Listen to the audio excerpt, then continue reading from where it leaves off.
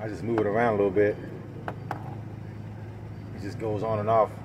See how the ceramic, it like broke off. It must have got so hot it just cracked, burned up in there. Okay. All right. Got that stripped off. Had to go get a new headlight out of the truck.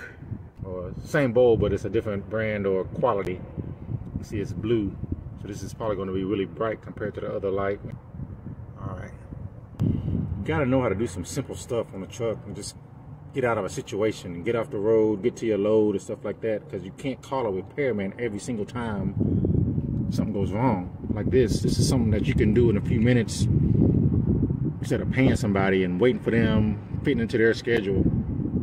Because I'm just using like a little torch lighter I got from the local gas station across the street there.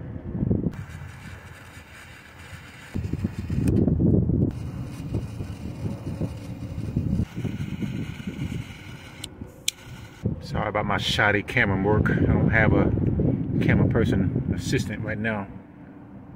Well, my son's a little toddler. Maybe in a few years he can do some of this. I'll get him to work on the truck myself and just sit back and watch him. Let's turn this truck on, uh, turn the headlights on, to see if this thing gonna, see if I got some fire in there. There you go. Look at that. Woo.